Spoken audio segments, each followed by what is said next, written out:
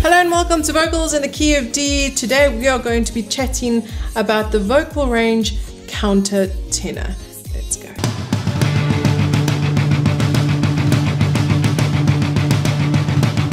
Okay, so we've been talking about vocal ranges, and today's vocal range is basically a counter tenor vocal range.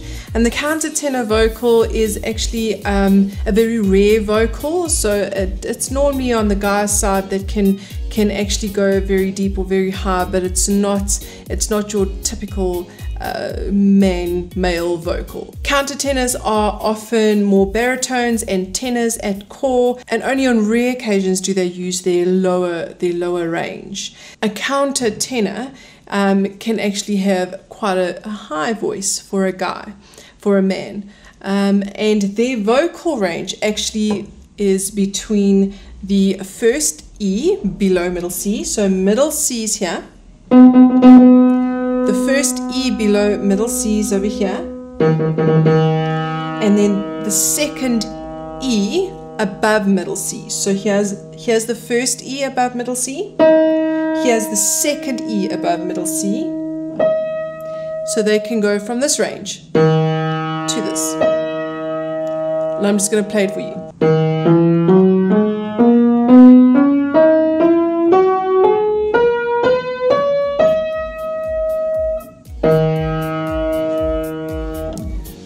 As I said before, it's um, not a normal guy's vocal because when a a boy, a young boy who can sing really high and his voice breaks, you'll often find he can start doing the lower vocal singing. But if they can still go really high, it's really impressive. So you've got to know that they've got quite a gift there.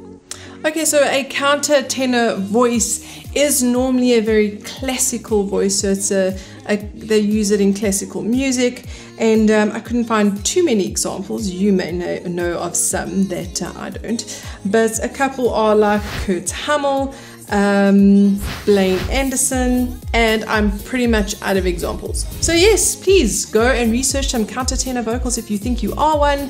And uh, join us next week, and we will have something else on.